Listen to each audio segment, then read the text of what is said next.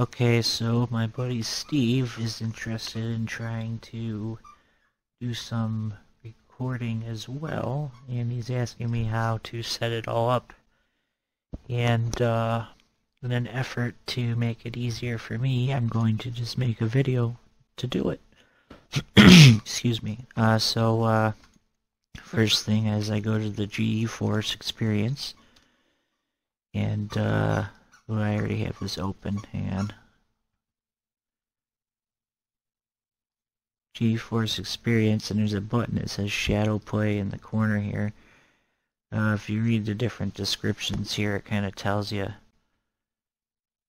you know, all your options for recording. Um, you know, you can move where the symbols are on your screen and uh, push to talk and on the bottom of the screen here there's a recordings and there's a save location and a temporary files location. So you probably just want to make those the same folder but that's where your videos are going to end up. Uh, from there you can also go in and uh, I guess I can't change the different settings for the video while I'm actually recording but uh, there's the mode, which shadow and manual. The shadow mode saves the last five minutes recorded, which I believe means not necessarily you were recording on purpose, but if you forgot to hit record, you can hit that button and it'll pull up the last 10 minutes or 5 minutes.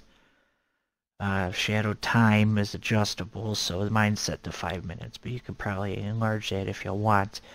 Uh, the quality, uh, I set mine up for 1080p at 60 frames per second. Um, people with a slower connection are going to want to do something a little different there because otherwise it'll take forever to upload. And uh, set your audio for in-game and microphone so you can talk over uh, what you're recording. Um, so from there, basically, uh, as you're recording, it's putting it into the folder that you defined here.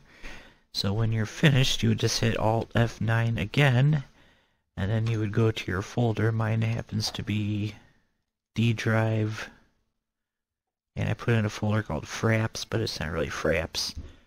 And uh, it keeps putting them in this desktop folder. And uh, this is the one I'm recording right now. So uh, that's how it works. Um, so experiment around with it and have fun.